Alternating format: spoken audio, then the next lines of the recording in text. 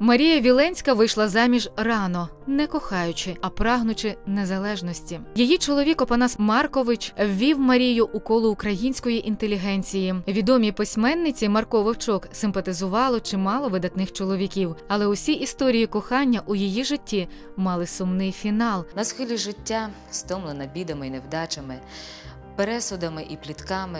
Вона пише: Хай Марко вовчок щезне, наче у воду кане, і хай залишається під водою аж до самої смерті. Про романи Марко Вовчук у документальному серіалі Гра долі. Дивіться фільм Мовчазне божество на Ютуб каналі. Підписуйтесь і не пропустіть найцікавіші історії кохання.